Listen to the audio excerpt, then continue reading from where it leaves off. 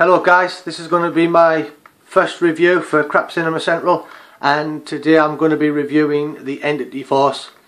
This is a low budget supernatural thriller stroke horror from way back 19 something or other. Yeah, that's a good start to a review isn't it? I haven't even looked at any of this shit, I don't suppose it even matters. But what does matter is it's a crap movie and I'm going to review it. Um, basic premise of the movie is there's a, a group of sorority students are, are, are setting up a, a, a, pledge night for one of their new uh, conscripts or whatever you call them and they decide to make her spend the night in a mausoleum where a recently deceased um, telekinetic bad guy has been uh, housed. He's he's dead. The, the the movie opens up with a a scene in an apartment with a big pile of bodies, and it, it, it all pretty grim by all accounts, and it, it, did show a little bit of promise to begin with. Um, a few spooky things happening in the apartment. They don't know what's going on, and, and this all these bodies are transported to this uh, mausoleum.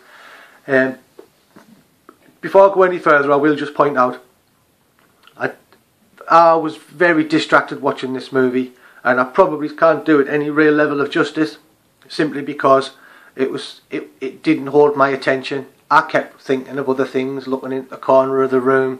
I went and made a cup of coffee and didn't pause it. It it didn't do a whole lot for me in that respect. So maybe if I'd sat down and concentrated on it a bit more, I might have been I might have had a bit more love for it. So again, that's going to reflect in the way I'm reviewing it.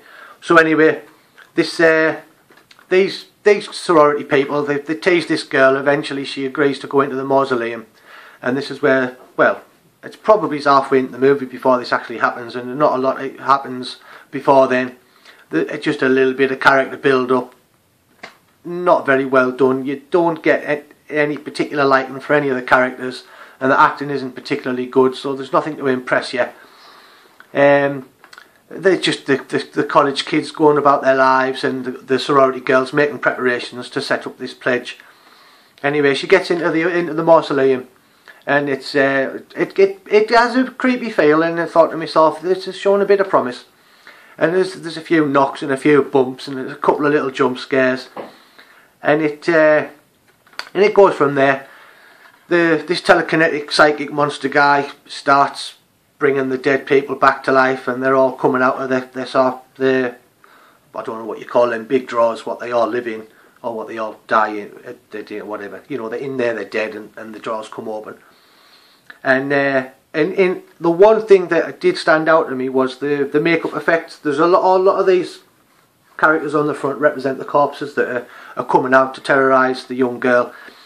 Um, and the, there's some good makeup effects in it. I was impressed by that, but they, they did seem a little bit, a little bit amateurish, I suppose. But it was the only thing in the film that actually made me go, "Oh, I like that." But the the the, the sorority girls, they all start coming into the mausoleum as well. They're feeling a bit guilty about leaving her on her own. And it's all kicking off. Like I said, because I was so distracted, I, I don't even remember if, if you actually see anybody get killed in this movie. Um, if you did, it, it just totally went over my head. There was nothing memorable about it in that respect. And I think, personally, because it was the plot was thin, the acting was bad, there was you, there was nothing in any of the characters to, to, to make you that you could grab onto and, and like about them. And I think it just tried to be a serious movie. And if they'd camped it up and and showed a lot more nudity for a start, a movie like this needs tits. You've got to have a bit of tits and some ass, possibly a bit of front, bit of bush front or whatever. But if they'd camped it up and made it an absolute farce of a movie, it would have been more enjoyable as a cheesy bad movie. But they seem to try and make it more of a serious effort, and it just simply didn't work. Not for me, at least, anyway. Um, I did pick this up for a couple of quid on eBay, but it, it's on Amazon. It's a bit expensive on Amazon. If you do get the chance to watch it for a very cheap price, or if it's on the net and you can watch it, check it out, see what you think. I'm sure you'll agree with me that it's pretty bad. Some of you might actually think it's very good. I don't know. But uh, that's it anyway. It's it's go and watch it. It's a crap movie. That's what we're all here for. We, we do this stuff because we like crap movies, I suppose. Anyway, thank you very much for watching. That's been my first review for Crap Cinema Central. Um, bad review though it was. That's just me though. I can't review fucking toffee.